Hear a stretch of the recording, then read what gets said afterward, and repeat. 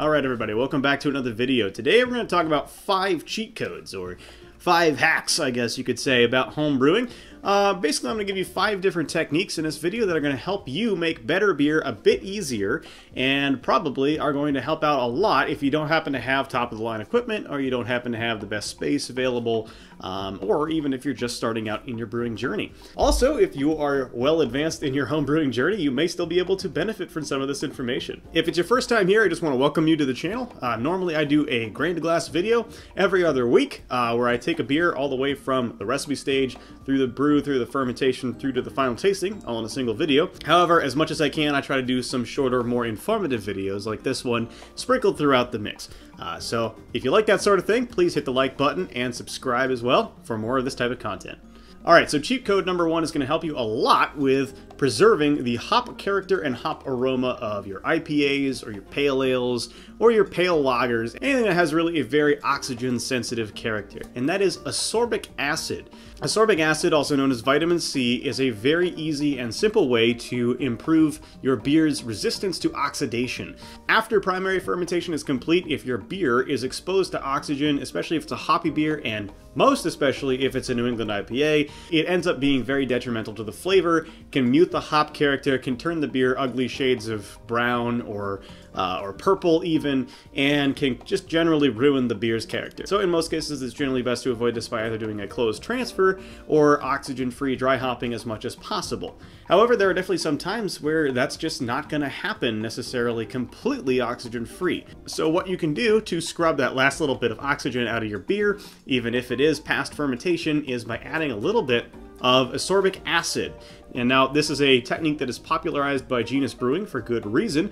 It is a very effective technique that I have used many times myself.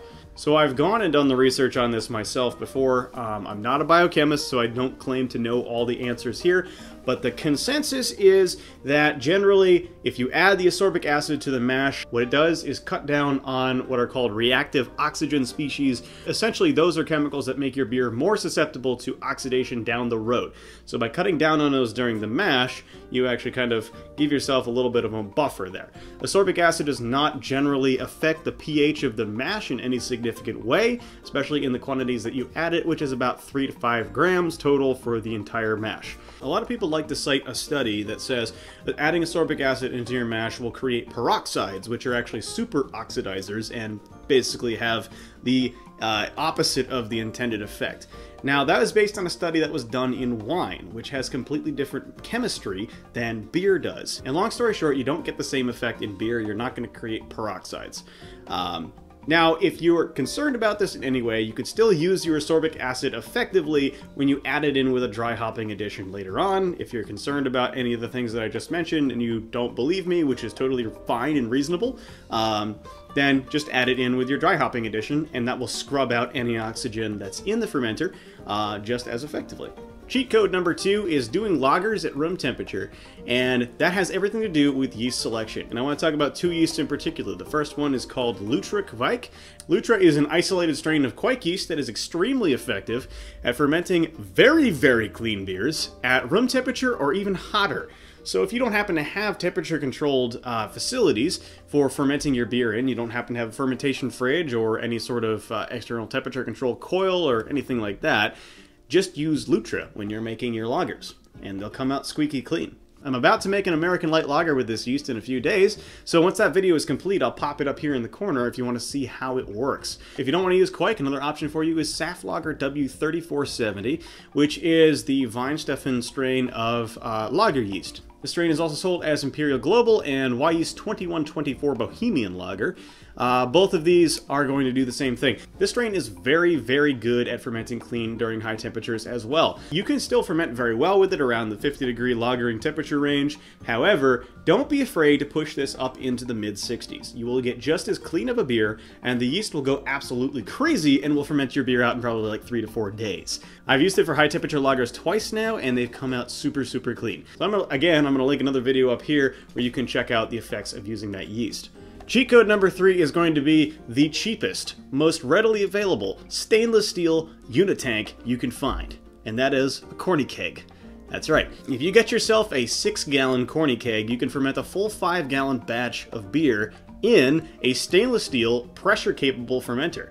And if you're feeling up to it, you can also serve out of the same vessel as if it was a unitank. I'm going to link my favorite brand of corny kegs in the description, but you can also find them used for significantly cheaper, for about 50 to 60 bucks, and that's generally a pretty good deal. Stainless steel fermentation is awesome because it is super easy to clean, it's very sanitary, all you have to do to sanitize it is pour boiling water into it, and also it doesn't scratch like plastic does. It's much more durable. It can withstand pressure, so you can carbonate in the same vessel or you can pressure ferment in the in the keg as well. Cheat code number four is going to be for an oxygen-free dry hop on a budget, and that is going to be using neodymium rare earth magnets. Um, this is something that you guys have seen me talk about many, many times, and the reason why I do is because it's very effective and very easy. All you have to do for an oxygen-free dry hop is on the day uh, that you actually pitch your yeast, go ahead and put your dry hopping addition in a hop bag, put a stainless steel object inside of it that you can sanitize. Then take that whole assembly, put it underneath your bucket lid or on the side of your keg fermenter or somewhere above the wort, basically, and pin it in place with a stack of neodymium rare earth magnets. A lot of people ask me what I recommend uh, for these magnets, so I'm to go ahead and drop a link in the description to uh, the ones that I use. Usually a stack of about five or six of these is enough to hold many ounces of hops uh, up above the wort, provided you have at least another magnet on the bottom or something that's magnetic and rust proof. Cheat code number five is something that I have not actually personally done before. However, it is something that is uh, widely talked about in the home brewing community, and that goes for you guys who are brewing smaller batches or who are using uh, a brew in a bag technique and are using um, just a basic pot or something like that to do your mashes in.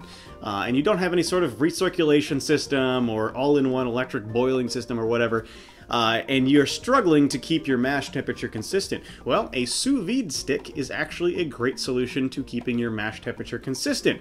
It's not really going to have enough power to really uh, change your mash temperature quickly. However, once you get it to the temperature that you want it at, you can stick a sous vide stick in there, put it at the right temperature, and it will actually keep your mash at that temperature very effectively. Um, I wouldn't recommend using it to step mash with, and I definitely wouldn't recommend using it to try and boil with, but it will work very well to keep your mash in circulation and uh, will keep your temperature consistent over time. Let me know what your favorite cheat code or hack or whatever is for home brewing. Put it in the comment section down below, and I'd love to talk with you guys about it. And of course, as always, if you enjoyed it, if you learned something, hit that like button, hit the subscribe button, and uh, check out the description box for most of my other homebrewing gear that I really recommend and enjoy, uh, as well as the ones that I mentioned here in this video. You can also find me on a couple other uh, places on social media. I'm on Instagram as the Apartment Brewer, and I also have a Patreon which is in the description box as well. Thanks for watching, guys, and I will catch you guys in the next one. So until then, cheers.